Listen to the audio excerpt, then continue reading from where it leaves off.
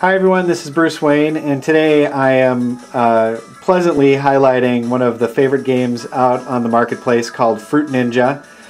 So if you are in the need to let out a little frustration, you can always take your sword and slice some fruit. So the idea here is just to slice as much fruit as you can, stay away from things that aren't fruit, and the more fruit you slice at one time, the higher your score and it's it's really a uh, no-brainer to play this game, and could be lots of fun.